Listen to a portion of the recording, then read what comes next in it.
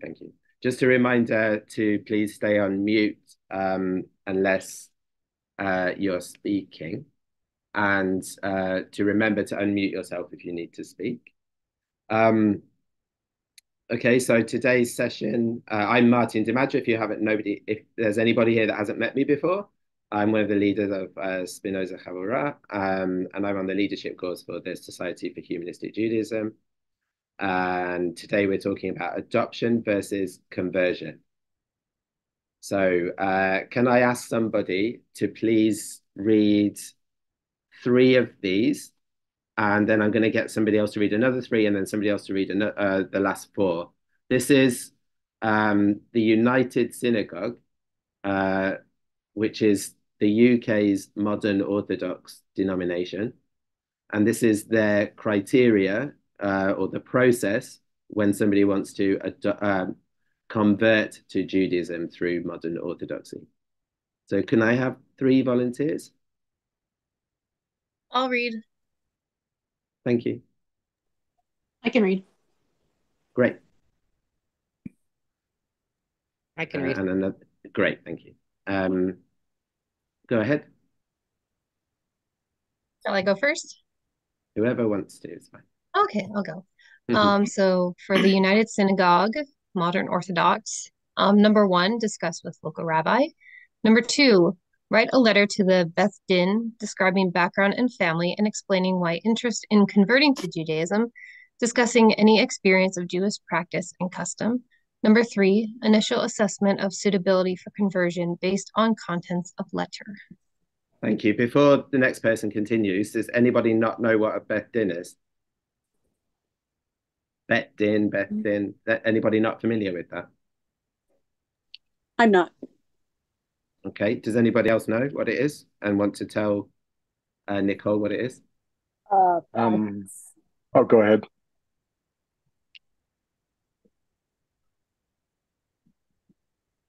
Oh, I think Gabrielle, were you?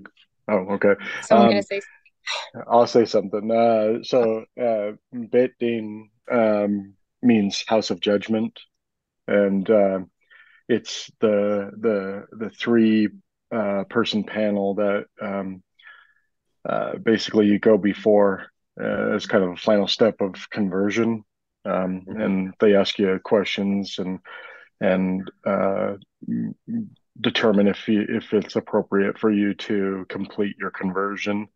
Yeah. Um, there was another term that was used for it in the Judaism Unbound um, podcast. Yeah. Instead of instead of Beit Din, it was something else, and I wanted to ask what what the other term that they used meant. Yeah, I can't remember what the other term was. yeah, but yeah. Anyway, thank you. So it's the panel of rabbis um, to which people need to write according to modern orthodoxy. Uh, they need to write their letter describing their background and family and explaining why they're converting to Judaism, etc., etc. So it's like the panel of judges. Yeah. But but they do other things than than yes. conversions. They it's the basic Jewish court. Yeah, exactly. Yeah. So uh, the next person, can you read the next three? Yeah, I can. Um, number four, applicant sent formal application form after which Beit Din invites applicant to interview. Beit Din will suggest reading lists and syllabus to enable applicant to learn more about Jewish faith and will advise candidate how to become more involved in Jewish communal life. Beit Din will ordinarily recommend applicant begins a course of study with private teacher drawn from Beit Din's pool. Thank you. And the next seven, Beit Din meets with applicant at regular intervals to review their progress, requires tutor provides progress progress report. Live in community with viable or vibrant Orthodox Jewish infrastructure where Orthodox Jewish practice can be observed firsthand. Precondition to proceeding with conversion application. Live with approved Jewish family normally for a period of at least six months enables convert to experience practical Judaism from within a Jewish home. Do you want me to go with 10 too, Martin? Yes, please. Yeah. Process irrevocably completed with convert immersing themselves in mikveh, ritual bath, and prior to that, undergoing circumcision for men. Yeah, great, thank you. Uh, so Orthodoxy has its own set of rules about who is a Jew and who is not. This is not that much different from the process of naturalization in the, in the United States. In order to become American, one needs to pass a set of tests that demonstrate a knowledge and understanding of the history and principles and form of government of the United States. If successful, after formal interview, one then takes an oath of allegiance at a ceremony, a ritual that makes one American. Okay. So we're just going through these uh, three different types of uh, Jewish conversion, quote unquote, conversion processes. Um, so can I have another three um, volunteers, please? I can read.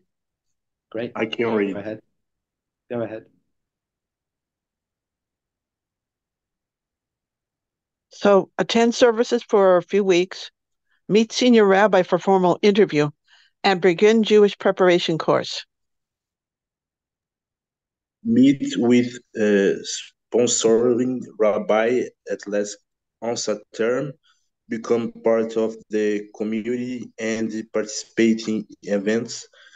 Match it up with buddy who can help and advise and be friends through the process.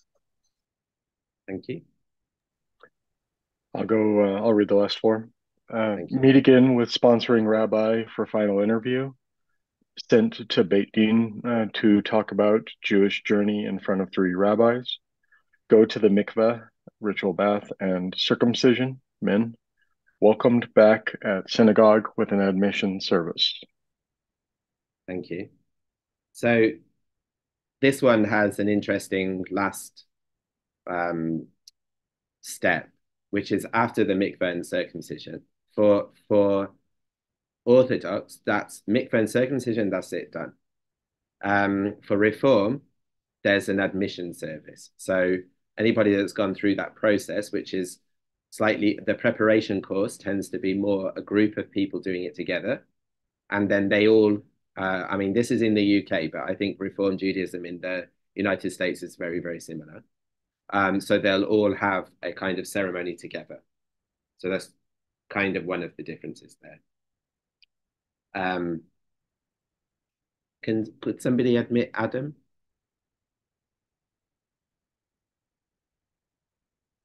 Thank you. Okay. And can I have another three volunteers, please? I can read. I'll, Great. I'll read. Thank you. Okay. Uh, so for the Society for Humanistic Judaism, connect with a humanistic rabbi, conduct research on humanistic Judaism uh, slash devise an individualized learning plan, and become a member of SHJ.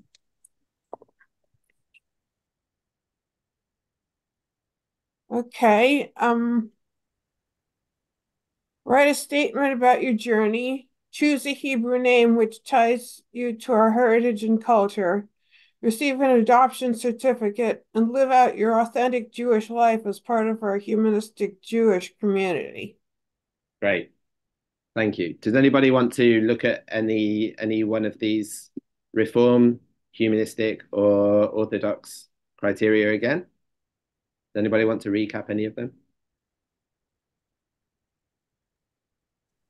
Would it be possible to recap it for me, please, as I'm so late? uh, yes. Um, so number uh, so Orthodox United Synagogues in the UK was discussed. The process was uh, yes, Aaron. Aaron's got his hand up. Yeah.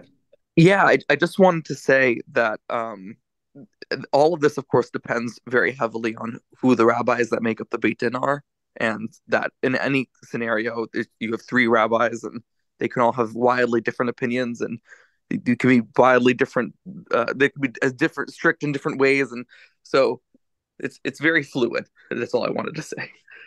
Sure. Um, these are the official criteria um, for the movements. Um, so the Beit Din the rabbis on the Beit Din they have to that's very true but they also do have to adhere to the criteria of their movement. Does that make sense? Of course, of course. I, I just wanted to throw that Yeah. in as as an additional Yeah. thing. Keep in mind. Yeah, sure, sure, sure. Yeah, yes, yes. So for for modern Orthodox, um, you need to to begin the process of conversion. You need to discuss it with a local rabbi. You need to write a letter to the Beit Din describing your background and family and why you're interested in converting, um, and discuss any experience you have of Jewish practice and customs. You need an initial assessment of suitability for conversion based on the contents of your letter. Uh, an application form needs to be sent, um, which Beit Din then invites you uh, after after receiving it. They invite you to interview. Uh, the Beit Din will suggest a reading list and syllabus, uh, which will enable you to learn about Jewish faith and will advise you on how to become more involved in Jewish life. Um, the Beit Din will recommend that you be in a course of study with a private uh, teacher, that they have a pool of them.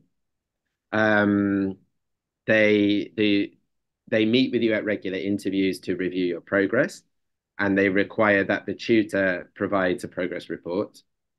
Um, you need to live in a community with a vibrant Orthodox Jewish infrastructure where you can observe and participate in uh, Jew Orthodox Jewish life. This is a pre a precondition to proceeding with the conversion application. Normally, you need to live with a Jewish family for a period of six months. Uh, this enables you to experience Judaism from within a Jewish home. I know that they have uh, flexibility for personal circumstances there. Um, and uh, your process is irrevocably complete, completed once you've immersed in mikveh for men and women, and um, yeah, for men and women. And uh, that if you're a man, you need to undergo circumcision. Um, so that's modern Orthodox. For Reform Judaism, you need to attend services for a few weeks. You need to meet your senior rabbi for formal interview. You need to begin a Jewish preparation course, meet your sponsoring rabbi once a term, become part of the community and participate. And you need to be matched up with a buddy who can help and advise and befriend you through the process. You need to meet again with a sponsoring rabbi for a final interview. Then you are sent to the Bet Din to talk about uh, your Jewish journey in front of three rabbis. And should they accept you, uh, you go to the mikveh, and if you're a man, you get circumcised. And then you have an admission service back at the synagogue with the people that you uh, did your Jewish preparation course with. And for Society for Humanistic Judaism, you have to connect with a humanistic rabbi. I mean, first of all, you don't have to do this for humanistic Judaism. You can identify as Jewish, and that's good enough. But if you want to go through a formal adoption process, this is what you need to do. Uh, conduct research on humanistic Judaism or, and devise an individualized learning plan. Become a member of SHJ. Write a statement about your journey. Choose a Hebrew name, which can tie you to our heritage and culture. Then you receive an adoption certificate and you live out your authentic Jewish life as part of our humanistic Jewish community. Um, so this is a video, a short video, which was So, I'm sorry, I'm sorry, it was, I clicked it too soon. This is a short video clip from the um, the video that was in the links that that you received, um, which is the adoption ceremony of Jared Mariska. So Jared and I had a very interesting conversation about the name that he would take. And um, we considered a variety of names and discussed the meaning of those names. And he had a particular attachment because your grandfather, his name was Daniel. And so we talked about Daniel and how it ended with the name of God. And I said, you know, this has meaning to you, so we're fine. And Jared said, no, no, doesn't work for me. So Jared came up with this. And I will say that those who join the Jewish people have an opportunity to take a Hebrew or a Jewish name. And Jared chose the name Zamir because he is a singer. And he told me he was a singer, but now I'm sitting next to him. and he, you have a beautiful voice. So Zamir is a wonderful name for you because your heart sings and your smile sings and your voice sings. And we are so privileged for you to be singing with us and for us. So, according to uh, Jewish law, a convert is required to go to the ritual bath, the mikveh. We've had a lot of talk about this to symbolically wash away one's identity and be reborn as a Jew. But in humanistic Judaism, you do not lose your past identity or your family, and you are not reborn. Rather, you are adopted into the Jewish family and are enriched by the Jewish way of life. So, I'm going to ask you these are from the core principles of uh, the Society for Humanistic Judaism. Judaism is the historic culture of the Jewish people. We see Jewish history as a testimony to the continuing struggle for human dignity, and like the history of other peoples, as a product of human decisions and actions. We create and use non theistic Jewish rituals, services, and celebrations that invoke the ethical core of Jewish history, literature, and culture. We make ethical decisions based on our assessment of the consequences of our actions. We each take responsibility for our own behavior, and all of us take collective responsibility for the state of our world. So I will ask you do you affirm with an open and joyful heart your commitment to these principles and our community? With great joy, I do. The Who is a Jew statement of the International Federation for Secular Humanistic Judaism that we adopted in Brussels in 1988 affirmed that a Jew is someone who identifies with the history, culture, struggles, triumphs, and future of the Jewish people. So, Jared, you affirm with an open and joyful heart that you identify with the history, culture, struggles, triumphs, and future of the Jewish people. My heart does. So we are so proud to be able to give you the certificate of affirmation and welcome. It's signed by the three of us. Jared asked that all three of us participate in the ceremony. And um, we're just so proud that you are part of us now. So I'm going to ask you to respond to all of this wonderful and emotional that we're doing.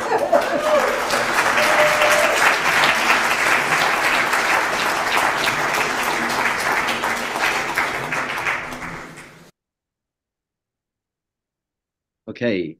Um, so I'm going to, in a minute, ask people to discuss what are the advantages and disadvantages of these three approaches that we just read together. And I need us to be in um, breakout rooms for this. Uh, How we do this? Uh, is it in the more? Okay, I'm looking at it now. Uh, breakout rooms. Breakout rooms. Create. What did we say? Five of them. yeah, sure. Create five breakout rooms. Assign automatically. Include co-hosts. Yes. The Uh, co-host. will- no, no, No. no. Okay. So I'll assign automatically, and then we'll figure out what we want to do afterwards. Sure. Is Okay, it clear to everyone what you're doing? Pardon? Is it Oh, clear to everyone what we're doing? Yes. Is it? Is there anybody so we're, that's not discuss- we're discussing the three approaches in the breakout group. Is that right? Yeah, the advantages and disadvantages of the three approaches. Yeah. Okay, right. I'm ready to create the rooms if everyone's ready. Yes. Sure. Yes. Open all rooms. I- I- are are you see? Mm. Okay, hello everyone. Um, hey, uh, how did that go? Very well. Yeah, Yeah. Can, yeah. Can I have um a volunteer from one of the groups to tell me about what you discussed? Let's, shall we look at the advantages first? The advantages of either of the approaches. Um, one of the advantages we talked about, the advantages with the um both the Orthodox and the Reform is the ritual. That one person brought up that um with the secular humanists, there isn't as much ritual or ceremony in the conversion ceremony, I mean, in the adoption, adoption ceremony. And that that's something that might be missed. That's a disadvantage. That's a disadvantage. That's an advantage of the other two. An advantage of the other two. Yeah, exactly. So ceremony. Yeah. Who who were you with in your group? Um, Jamie and um, I'm so bad with names. I'm sorry. Me. Um, yeah, Casey. Casey. sorry. Casey. That's no okay. Okay. Yeah, I And, said that. um, I, I really like the ritual, and so that's the only thing I'm missing in this in the secular humanist Mm. is that I like Yeah. that. But I would Yeah. think they'd be able to create a ritual that if Yeah, you wanted you one. can. Yeah. A- and another group? Well, I can go ahead, um, unless you want to go. Oh, Catherine can go. You can go ahead. oh, Can you tell us who you um, were with in your group? Um, I, I was with Rebecca and Val and um and one other person whose Me, name Heather. I'm sorry to have forgotten. Oh, It's me, Heather. Heather. Yeah, it's okay. Yeah, Yeah. um, well, we we discussed how um the Orthodox process in particular seems to make you more like indisputably Jewish, whereas um the humanistic one seems to make Judaism more accessible to more people. Yeah. Yeah, exactly. Yeah. Any more advantages?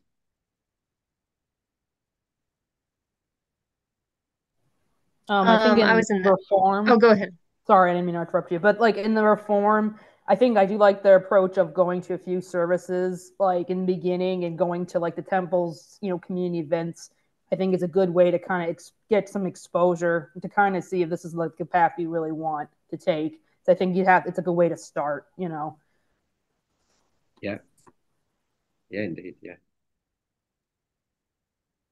And a, another group? Well, I was in a group uh, with Adam, uh, Nicole, and uh, Luigi. And Luigi mentioned something interesting uh, that in Brazil, apparently, he said that there's a lot of people who want to become Jewish, but who have really zero clue about what that's really about, in the sense that they just kind of want to become part of the. And Luigi, you can correct me on this, but they want to just become part of the chosen people, in a sense, but have no no bearing at all, you know, what what Judaism really is about. Um, and Yeah, for just, me, just like yeah, Manuel, just because um, in the humanistic Judaism um, kind of theology, we can enter easily the Jewish people.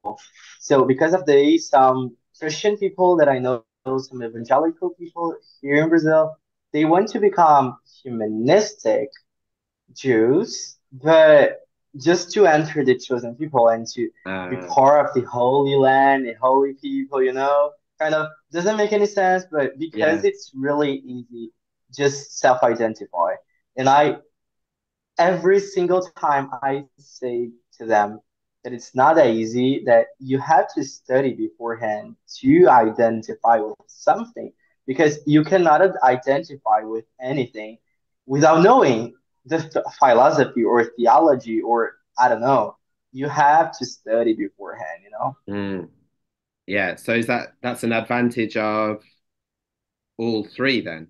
Because all three have a requirement to study if you want formal Yeah. conversion or adoption. Yeah. Were Um, there any other advantages in your group? well, you, yeah. we we looked at the you know just the the the orthodox in a sense because when you make it i mean one of my kind of thoughts was uh, when you make it difficult like i mean the orthodox route is it's much more difficult right?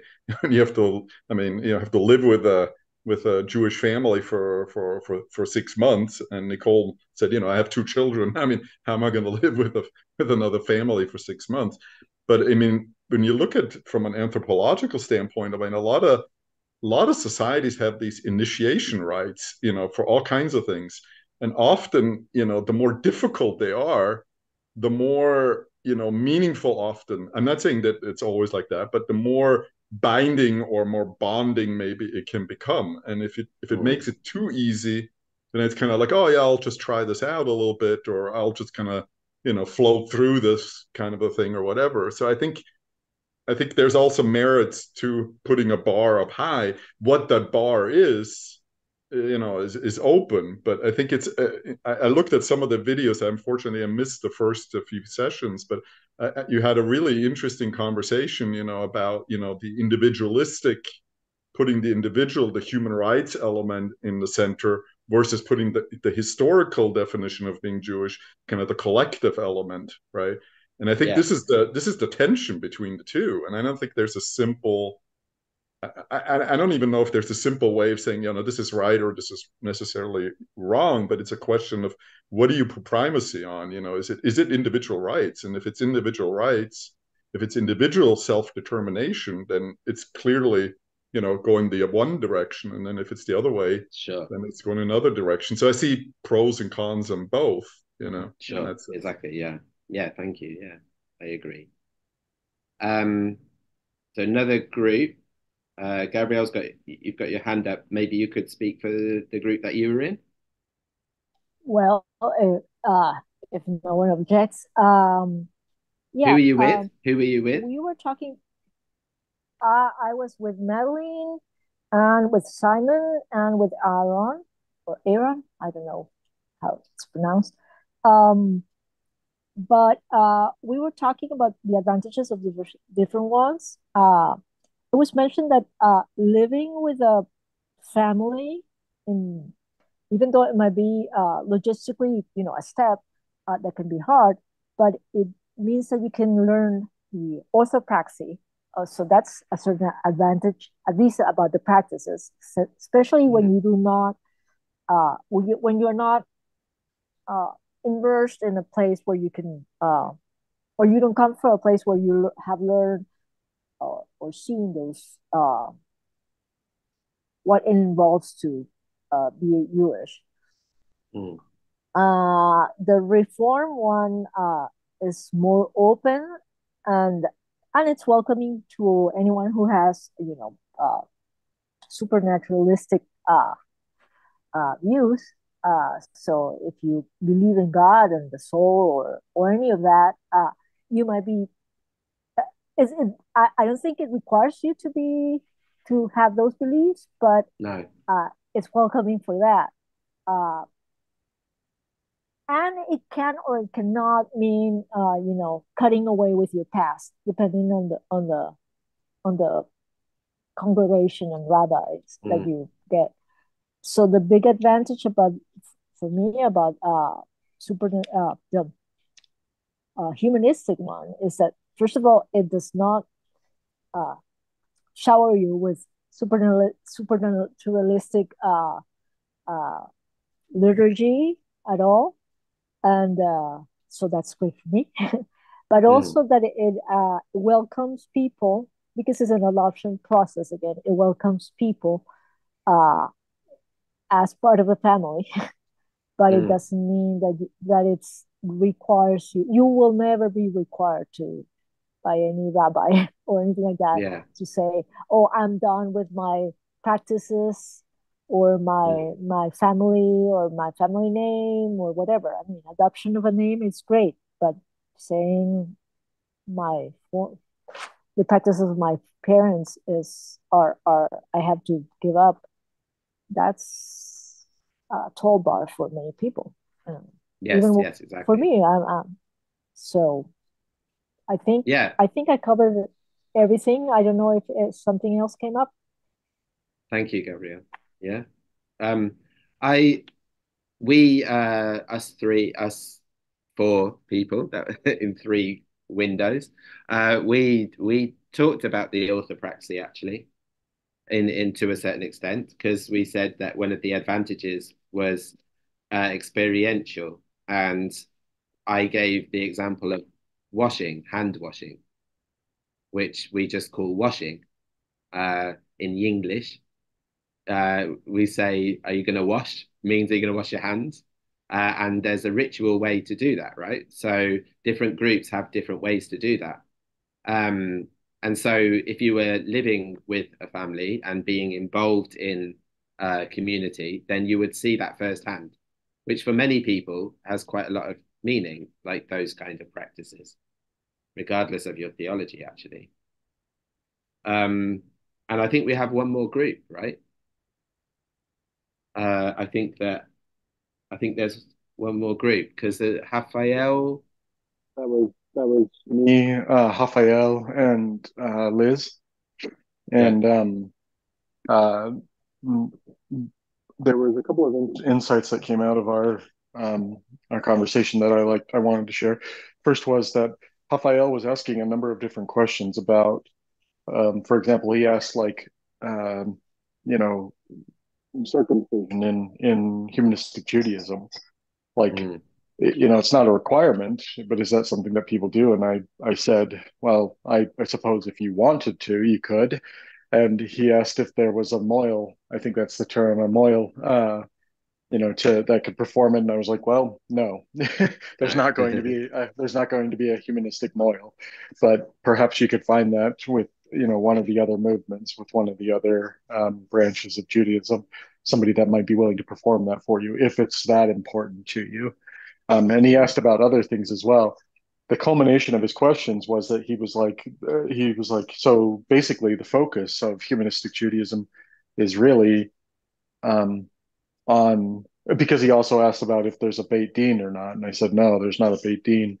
Um, he said, so it sounds like you know humanistic Judaism's focus is on individual choice of becoming Jewish, and the community choosing to affirm that choice um, and and and and I um, I said yes, that's you know that that's that's what it's about. And Liz highlighted something that I had noticed myself, um, and and that was um, that uh, the um, the reform or excuse me, not the reform, but the, the modern Orthodox requirement of living with a family, which has already been brought up, uh, was uh, that that's kind of a, a, an interesting, I don't know, artifact or whatever as part of conversion. Um, and my comment, uh, or, and she said, you know, that that gave you an element of immersion into Jewish culture, into Jewish life, into Jewish religious practice and and I said that on the one hand, I kind of see that as as like you know advantageous and even as beautiful because it um, it allows uh, somebody to learn what it means to be Jewish in the pragmatic sense, in the practical sense, in the day to day sense. Um, and I talked about how when I started with this, and I even still feel this a little bit, but not as much.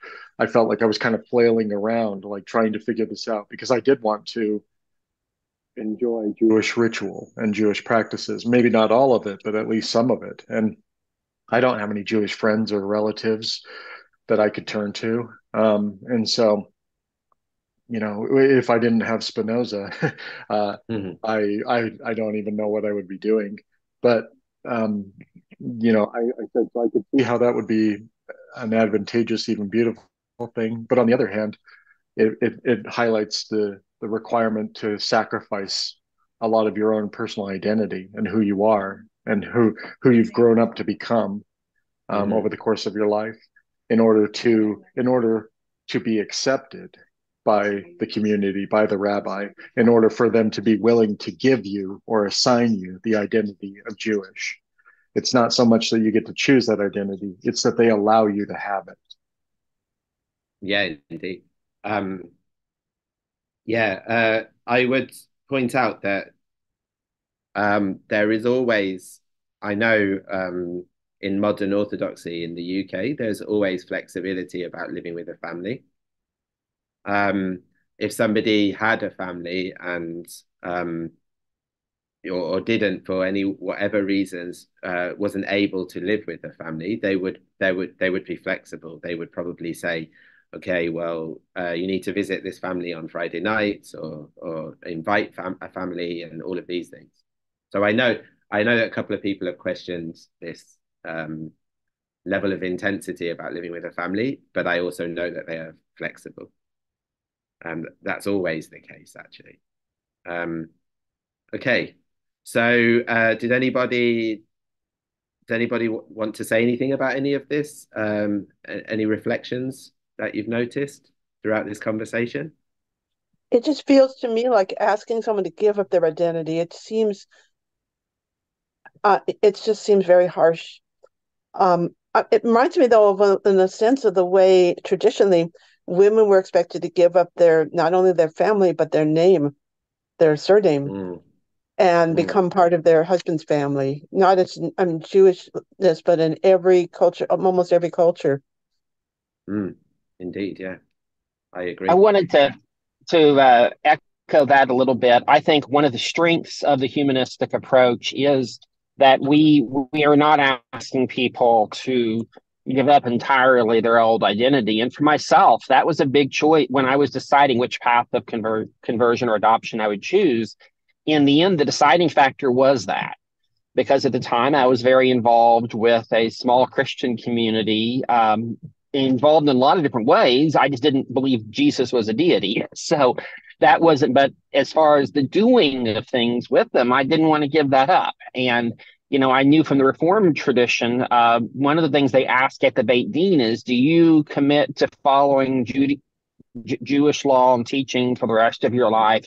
To the exclusion of all other paths. And yes. I could not say that because, okay, you're telling me I can't love my neighbor as myself? Uh, you know, there's elements of Christian tradition that I, I, yes, I reject quite a bit, but there's also parts I don't reject, and I, I, I can't extricate my upbringing either. It's there, even if I've, you know, very much chosen a Jewish path. Yeah.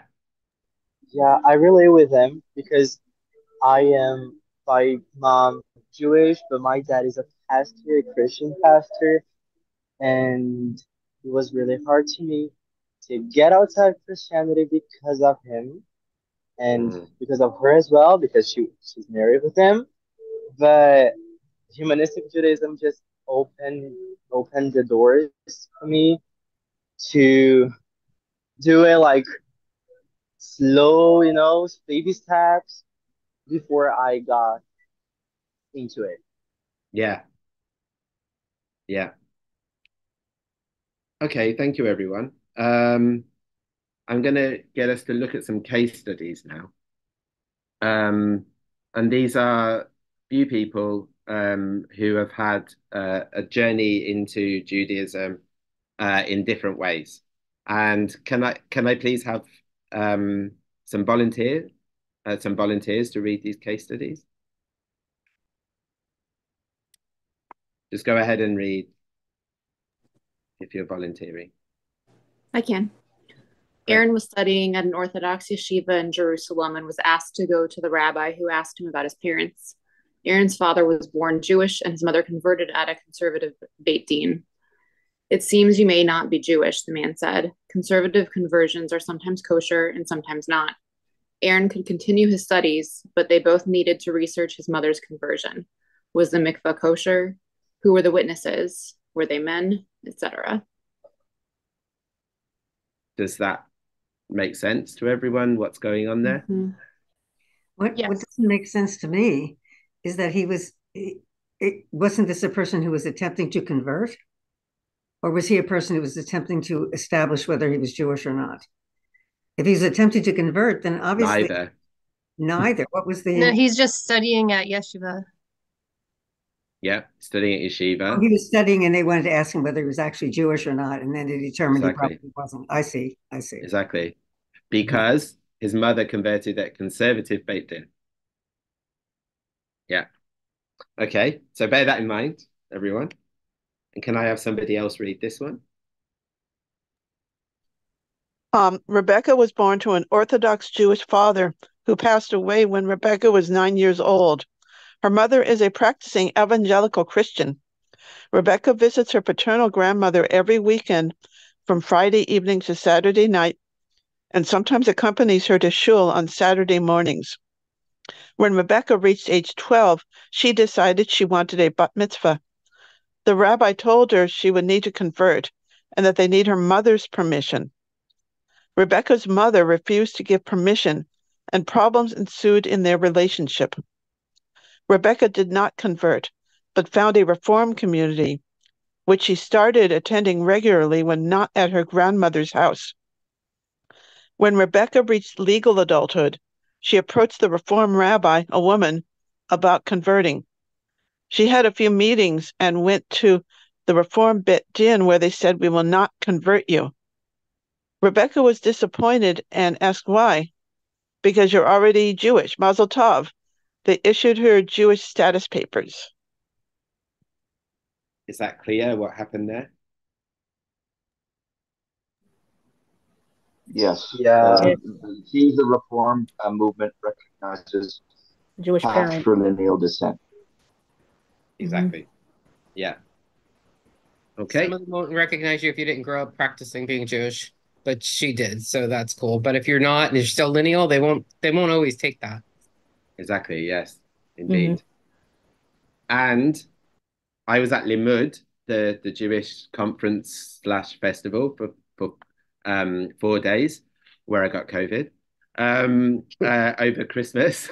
In the UK, our Jewish Christmas tradition is Limmud, um, and uh, there was a Reform rabbi from the United States there who said, um, if somebody came to her in this kind of circumstance, she would, uh, in in terms of uh, somebody who was patrilineal Jewish, uh, whose father was Jewish, she might still require her to go through the conversion process if she didn't grow up practicing Judaism.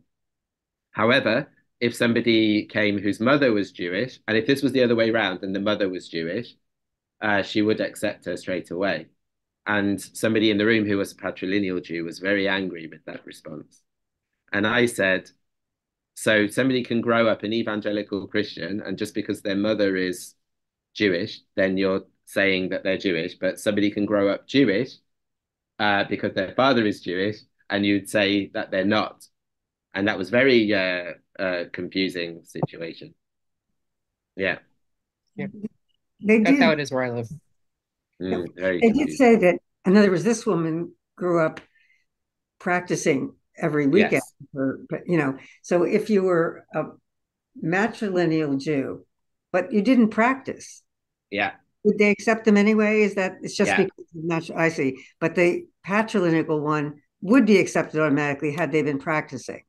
Yes. Not if not. Okay. And in the UK, in UK reform, um, they are now saying that it should be just unilateral. So, uh, under all the circumstances, if you've grown up practicing, you should be accepted. And if you haven't grown up practicing, you need to go through some kind of course. So they would still the- send a matrilineal Jew on a um, uh, uh, course like we're doing now. In, in the US, they the reform movement has a class that's open to both people converting and people who are born Jewish who want to learn more. And I was in the latter category, and I took the class because I had had very little, nothing really Jewish background, and I just didn't wanted to have some knowledge of it. Yeah, exactly. Yeah. But you would be automatically considered Jewish, whereas I've been practicing for 10 years when I approached a reform rabbi, and I still would have had to go gone No. through two years That's- of of classes and a, a formal Mm-hmm. con- conversion. That's not fair. No, exactly. Okay. Uh, can I have another uh, volunteer? I grew up with a Sephardic father and a mother who was born to a Christian family, but converted through Reform Judaism. Mike's family were members of a conservative synagogue, where Mike regularly leads services. The whole family fairly often attend services at the Sephardic synagogue, where Mike's father grew up. Mike is attracted to the Sephardic liturgy and traditions, and he's and he in his own home where he lives with his male partner Mike, is the religious one and is Shomer Shabbat, Shabbat observant. Due to Mike's deep knowledge of Sephardic customs, he's called on to lead services at the Sephardic synagogue. Nobody ever questioned Mike's identity. He sought an Orthodox conversion via the Sephardic Beit Din, and it took him eight months of studying Halakha, Jewish law. He knows his identity didn't change, but he did it just in case. Yeah. Any comments? Well, that brings up the idea in Sephardic uh, tradition. Is there both matrilineal and patrilineal descent, or what? What's their? No, just matrilineal. Okay, so he didn't have that. He didn't have matrilineal. Well, she she, No. she converted though, not through Sephardic, but or Orthodox but Reform, but they accepted that. I take it. Well, conservative accepted it. Uh, Orthodox did not. But he, nobody questioned him, but he uh, decided himself to convert via the Beit Din um, through study. But it was, I know, I know this person, and I know that it was really easy for him because he was well known and his dad was um, a well-standing member of the community. It's just that because his mum converted reform, they would they were members of a conservative synagogue where the mum's identity was not questioned. Um, but he wanted to be involved in the Sephardic uh, community, so as as a prayer leader, service leader. So he converted. It was just easy for him. So it can, does, does anybody have any observations about any of these cases, the nuances of them?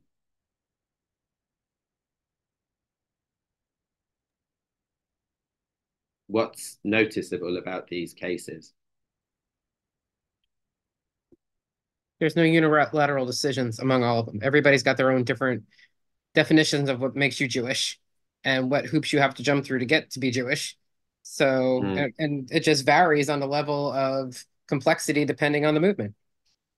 Indeed, yeah, yeah. Yeah, I I noticed, of course, uh, um, in one of the case studies, uh, there was a question of the uh, witness to the mik the witnesses to the mikveh being men, Mm-hmm. and that doesn't Indeed, seem yeah. fair either. Well, in Orthodox halacha, uh, you ha your mikveh has to be witnessed by the same sex. Ah, So if they weren't, then his mik then his mother's mikveh would not be valid. ah, okay. So But so this, that they didn't have to be men; they had to be the same sex as the person being mikveh. yeah, exactly. That makes sense. Um, more or less. Yeah. Um, also, this isn't Aaron converting. Has anybody noticed that it's not Aaron who needs to convert? Yes. Yeah. However, if his mother's conversion was not valid, he would have to convert. And that's the writer of Judaism's, the book, by the way. So uh, let's look at this final one. Can I have another volunteer?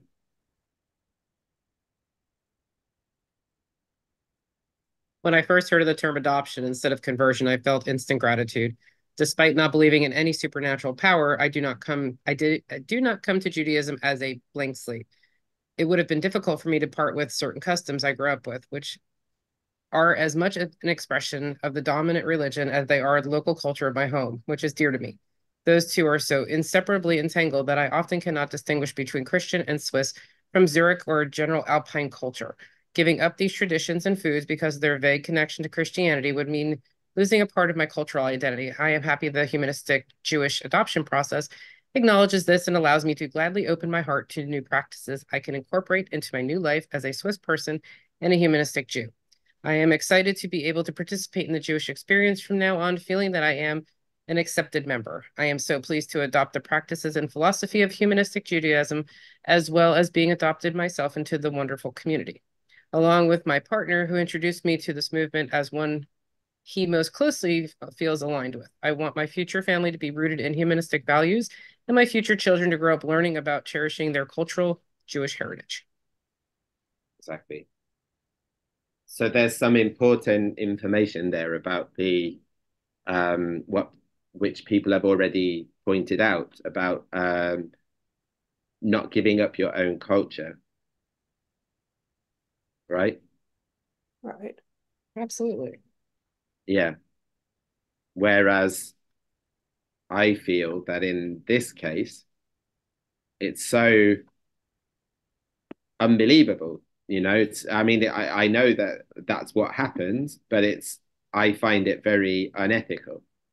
You know, um, this person's own Jewish identity, he's at yeshiva, he's is clearly Judaism is important to him and yet his very identity as a Jew is questioned because his mum converted at conservative Beit Din, and he may not be a Jew if the mikveh wasn't correct of his mother. So there's a vast difference, I feel, between this one and Aaron, between Fabian and Aaron. Um, and by the way, if anybody knows Joshua, that uh, he attends Joshua Bamford's, um, what's his surname? Silverstein Bamford um, this is his wife. So, um, yeah. Um, whereas Mike's is individual. Mike wanted to do this. Nobody forced him to do this. Um, he would have been fine in the conservative. Uh, he was fine even at the Sephardic. He just didn't want any issues at any point. Uh, but there's another interesting point there because does anybody know if Mike was going to marry a woman, what might, where would he be able to marry a woman? He's lives with his male partner. So what would the difference be in the in Mike's situation if he wanted to marry a woman? Well, he wouldn't be able to marry as an Orthodox Jew as another man, as far as I know. No, no, no. Well, yeah, that's true. But he, if he wanted to oh, marry a woman, what would, what? Oh, would if he were to marry a woman, I mm-hmm. see. I think he would have to be in whatever, wherever denomination accepted him. Is she sure. Jewish or not Jewish? Jewish woman. Yeah, but but I mean, if the Orthodox aren't accepting him as Jewish, then they, then no matter who he marries, they wouldn't marry him. But a conservative synagogue would definitely marry him, and nowadays might even marry him to the to the to his they do stuff. I mean, th- this brings up the question about ethnicity. Mm-hmm. Uh, wait, I better wait on this because I've lost the thread with this other conversation. I'm sorry. Are you sure? Um, well, we're, we're, we're sitting here talking about if you're an ethnic Jew and another Hitler comes along, you're toast. Okay. But if you convert with some religion, in other words, Mike is a Jew according to ethnicity of, of that yeah. malevolent type. Um, uh, in other words, this is only a religious problem. If you, mm. this is if you are religious, where you can be practiced and where you can be accepted. It really mm. doesn't have anything to do with well, being a Jew in a sense, especially any Jewish ethnicity. Because you were talking before about what determines you're Jewish by matrilineal, by patrilineal, if you've been practicing, but you know, patrilineal, mat- but suppose, you know, I'm somebody who was brought up by 100% Jewish, both of my parents, and no practicing, absolutely mm. no practicing. Mm. So does that? I mean, she didn't even know the Shema. I mean, I, she, Paul taught me the Shema when I was in I, I told my a joke 30s. about a fellow who I didn't realize was Jewish, He was British. Uh, and I, he said, we were telling jokes, and I said, You can't laugh at these jokes. You're not Jewish. He said, Sure, I am. So I asked him, I said, Prove it. So I said, I asked him to say the Shema. I didn't ask him to drop trow or anything. I asked him to Yeah, yeah, yeah. and, uh, and then I told the story to Betty Ann, and she said, "I don't know the Shema. I can't Yeah. to you, Now, you, my, you know, with my that." mother d- did. My mother, you know, I had a great grandmother who was religious. There was religion in there, but my parents gave me a, I had a very strong sense of being Jewish and I, I loved it. And I was culturally Jewish, philosophically Jewish, whatever, but absolutely no religion in the house. I mean, it just was not a Yeah. part of my life. Mhm. So Yeah. To And we whom were- am I yeah. considered Jewish? And I it came as Yeah, so that's a good point because it that's what I'm trying to point out here with Mike's case. If Yeah. your grandparents married in an Orthodox synagogue Mhm. and your parents married in an Orthodox synagogue, you would be able to marry Mike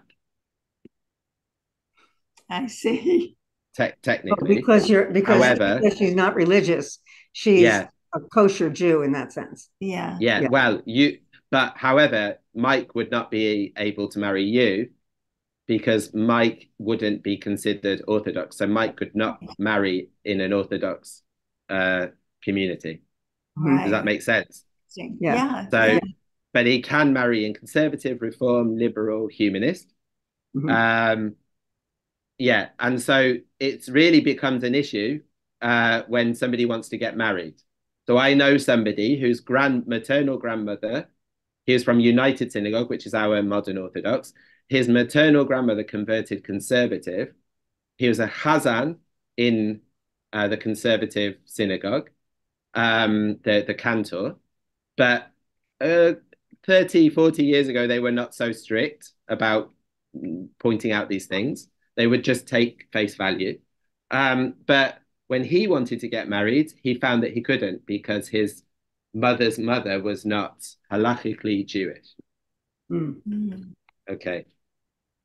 So, Um, this is all okay if you if you want to um, uh, do something in Orthodox um, synagogue and be considered Orthodox. I don't want to identify with the Orthodox at all, so I don't care. no, but say you married a Jewish woman and your children wanted to get married, and they would have issues if they needed to marry an Orthodox person. Does that make sense? Yes, we, we, Even we would have issues if they was to marry an Orthodox person. But Yeah. if I'm not interested in Orthodoxy, I'm not going to marry an Orthodox He person. married a Jewish woman. If he married a Jewish woman, why would that be a problem? There would be matrilineal descent for his Because children they need to get married in an Orthodox ceremony. if they needed to. I see. Yes, Mhm. that's what I'm saying. And then it would be an issue for their children as well. Mhm. Their Mark- parents didn't get married. Yeah. Yeah. Martin, um, I'm not sure if I'm understanding, but are you saying that within the matrilineal, every single generation, the marriage must be legitimate halakhically? Yes. Uh, I thought Down to six. well, It goes six uh, generations. Wow. well, Yeah. well, but I, I, I, I need to um I need to apologize to one of my relatives or, or correct them rather because we discovered that one of my aunties had an affair, had an illegitimate child. So through DNA we discovered. So I sent her, her a message saying, Congratulations on being a Scouser and congratulations on being Jewish because she was Yeah. adopted. She Um, still can be Jewish. Ah, yes, this is a very, very important point.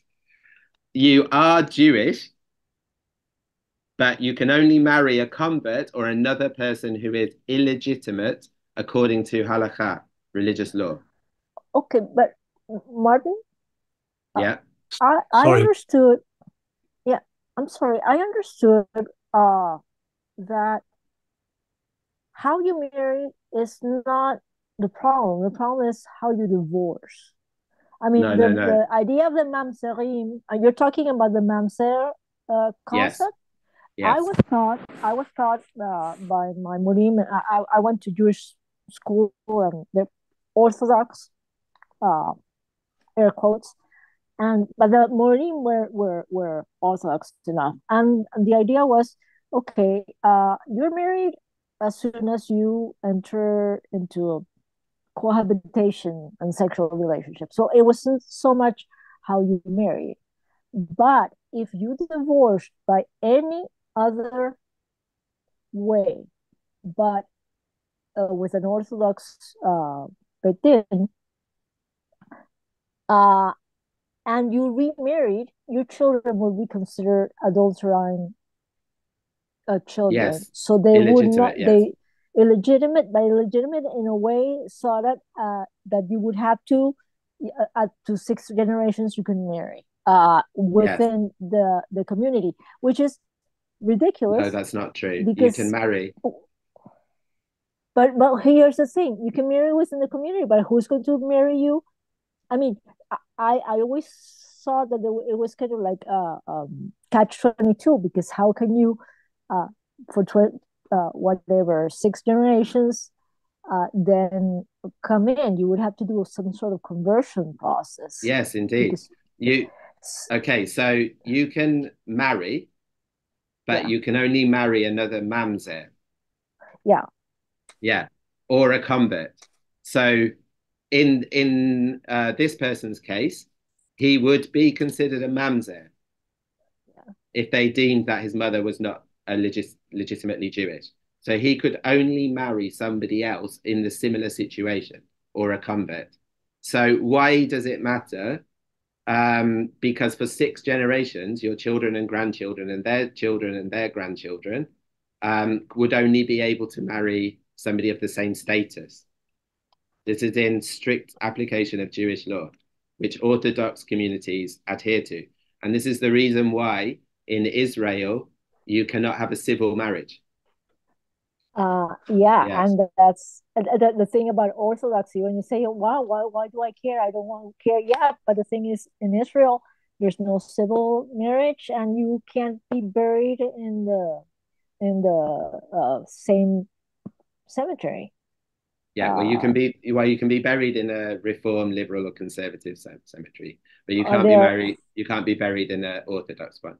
Yeah. So, so it's very. Uh, there are a lot of nuances. You know, there Mark- are Mark- really a lot of nuances. Yeah. Martin, may I ask? So, um, my auntie had an, aff- Mhm. had an affair and had a daughter. Um, but obviously, it was an affair. It was it wasn't uh, a halachic marriage or even a marriage at all. So, is she Jewish? Yes. According to, okay, I, I I thought you you're saying something about the marriage had to be halachic. It does. so It, it wasn't a marriage. children.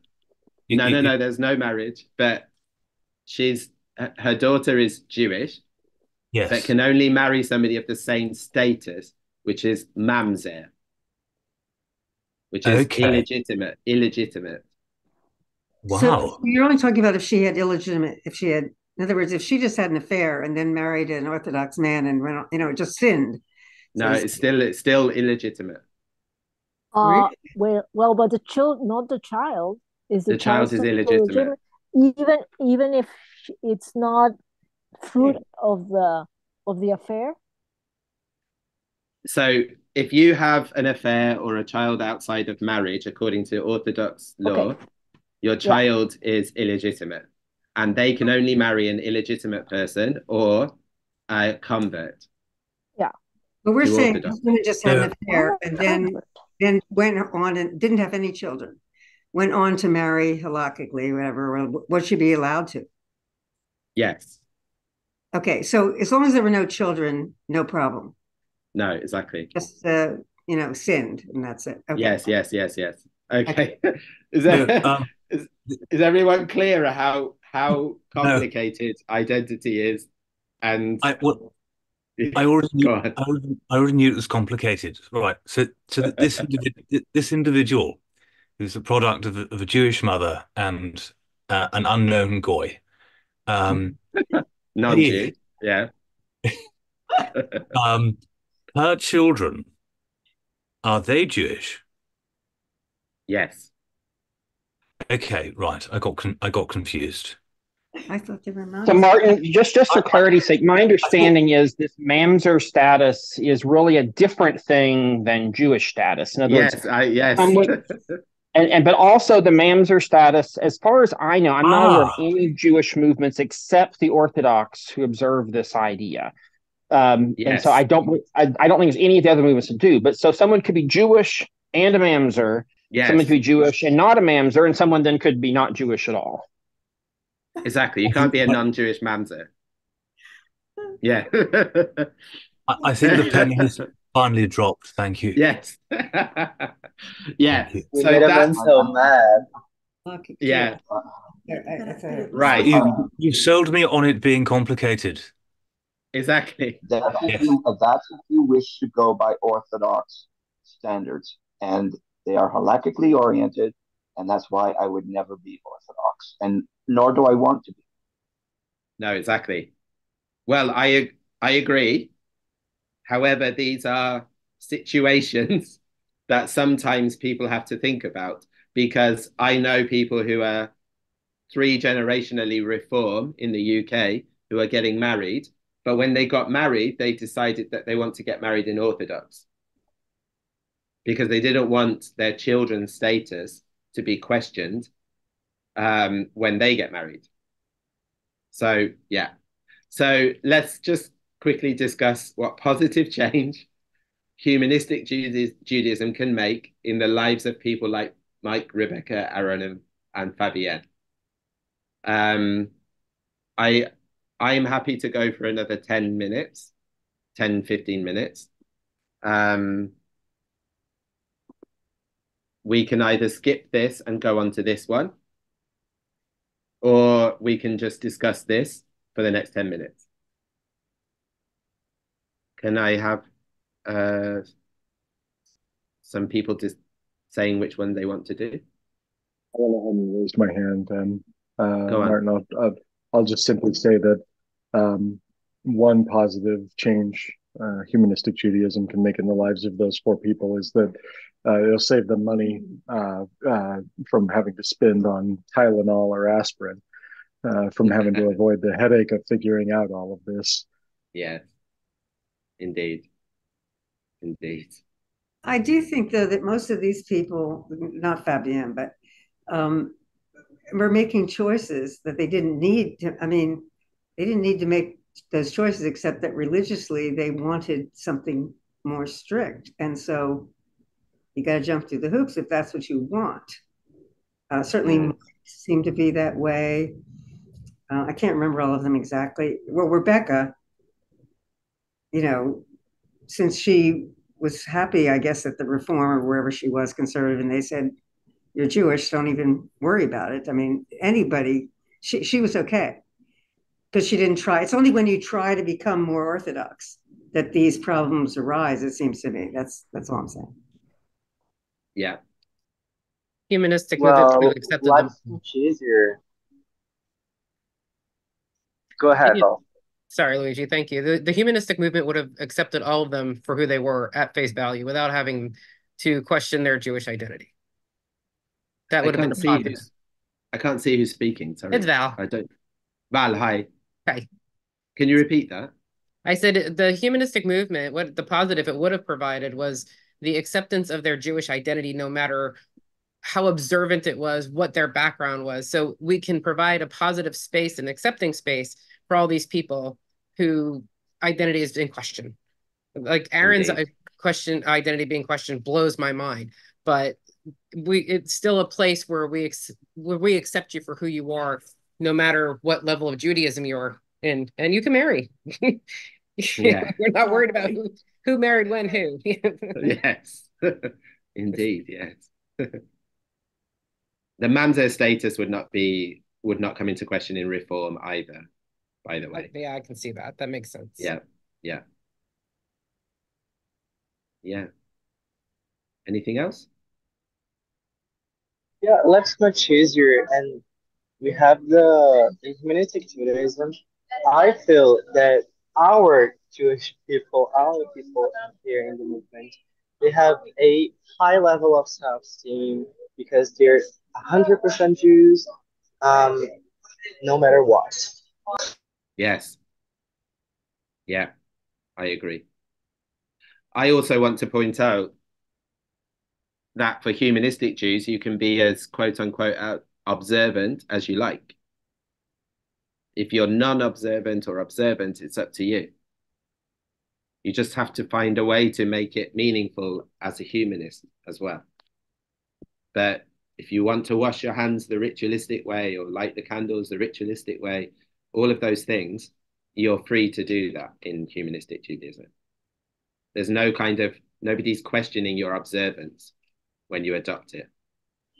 And that's amazing. I know much humanistic Jews that are like, film and it's awesome because we have variety, diversity, and I, I don't know, all people to include it. Yeah. So I know if I can say it, James, um, I believe that I'm correct in saying that you went to a mikveh because you wrote an article about it, right? Yes, I did, and part okay. of the reason for it was I had um, I had done, done was adopted into Judaism through the SHJ, the time I felt like I really wanted ritual, but the time I wasn't part of a humanistic community. Later, I got involved with the Reform Temple, and there the Reform rabbi said, "Oh, you're completely accepted, no problems. You have Jewish status." But I told her, "says Well, I really miss not going to mikvah." A lot of my friends who were doing conversion class or reform movement were doing the mikvah. She said, Well, there's nothing to stop you as a Jew from going to the mikvah on your own and having a ceremony as a kind of affirmation of your status. And so I did it, and it was a very powerful experience. And I I highly recommend it. It's it's it's a, it's a it's a ritual that's not difficult to do, and there's, I, I to me, is a really powerful experience. Um, I will throw out one other thing though related to this, and that is the issue of of uh, circumcision is a big deal for many. My son went just went through reform conversion, and when he initially raised the issue of circumcision, which is usually treated as optional in the reform movement, he decided to do it, and I did not like this idea at all uh, for a lot of reasons. But in the end, what he was persuaded by was was that the rabbi said, "Well, if you are circumcised now." Then, if you later marry someone who is more observant, maybe a, someone in the conservative movement, uh, probably wouldn't be Orthodox, but conservative movement, there would be no issue with you being accepted there as well. If you're not circumcised, in the conservative movement, it might be an issue. And so for him, he decided to do the, do the ceremony from the, just for the accept for the sake of acceptance in other movements. Uh, for me, I just it just gave me the willies. I just I'm I circumcision is a concept I really which is also a really funny pun. Yeah, but, but but I would say it, it is a good example of that. Often people may choose to engage in ritual, sometimes for their own purposes, sometimes for acceptance elsewhere and there is some flexibility there for to do a ritual for a variety of reasons exactly um of course it's not a requirement for humanistic jews at all and there isn't a humanistic one but they in humanistic judaism if you want to do it they send you to uh doc they they tell you to find a doctor yourself basically um i personally I, i'm i do not agree with it on on infants. Uh, I think that adults should be free to do that if they want to or not. Um, so uh, I was gonna, this was gonna, oh, this is the wrong one, isn't it? Um, where's it gone? Um, I was gonna uh, have us do this together, but we had such a rich conversation. Um, so I was going to ask us what adoption connotes. Uh, be yourself. Um, uh, I can't see can't see it now. Um, yeah, embracing a set of ideas or way of life, uh, being embraced, add to your identity, etc. Um, and conversion can connote changing from one thing to another, leaving your old self behind, replacing your identity, etc. And I wanted to give an example of a sample certificate of Jewish status that I produced um, for Spinoza Ḥavurah participants. So it says, we hereby confirm that uh, the name is Jewish according to the parameters and customs of Spinoza Ḥavurah, a humanistic Jewish congregation, uh, signed by us, the leadership team, on the uh, on the day and month in the year, whatever it was, and then, for example, three of the leaders' names. And it says at the bottom the quote from Ruth 116 wherever you go, I will go. Wherever you lodge, I will lodge. Your people shall be my people. And then obviously it's in Hebrew and English. Um, and this is generally what most formal conversion certificates or uh, status certificates look like. Um, and uh, yeah, there you go. So if at any point anybody wants one of these after completing this um, course, uh, I'd be happy to give that to them. I think we would be happy to sign it. Um, and you would automatically be accepted in SHJ anyway. Uh, so that's just something that I wanted to say I would be happy to offer. Um, and that's everything that I had planned for the lesson. Um, apart from to remind people that there is a task uh, that you need to prepare an essay of no more than one A4 page. I think A4 in the United States you call letter, um, which will discuss the difference between adoption and conversion. Why might the distinction matter for humanistic Jews? Um, and please use what you learned from the podcast and video and from the discussion in class. And I would like to receive that um, by email on February the 8th. Can that be a Word document? It can, yes. Indeed, it can. I'll just Any, mention that I know that there are folks that, you know, that maybe English is, is a second language or who may be they less comfortable in, written form. So yes, feel free to write in another language, or if you uh, need to do it verbally, I'm sure Martin and I could figure out a way to accommodate that as well. So we we wanted to be as accessible as possible, but we did want to encourage these exercises as a way to prompt some deeper thinking and some self reflection. So yeah, and also yes, of course, like um, I, I'm able to read Spanish and Portuguese, so I'd happy to I'd be happy to receive it in that. Um, also um, part part of the reason why I want us to do essays is to give those people that want to have done a bit of extra work um, after the course is over, it will give them a bit more validation that they've done some of the study, they've done some of the work, and they'll be able to say, I studied humanistic Judaism, I've done some work, you know. Um, and so for those people, um, who might need that extra validation, uh, they will receive a certificate having having studied. You know, that does that make sense? Yeah, very much so. Okay. okay. Yeah. Does anybody have anything they want to say? I'm I'm personally happy to stay on the call for a while, um, but I think that I need to uh, offer um, people the chance to leave now. Um, and if anybody wants to stay, I'm happy to stay to talk. I'd be happy to stay and and look at those other um, topics that uh, that you're going to approach. Okay, great. Bye. Bye bye. See you next time. Bye. Bye. I'll see you in a few weeks. Bye everyone. Bye.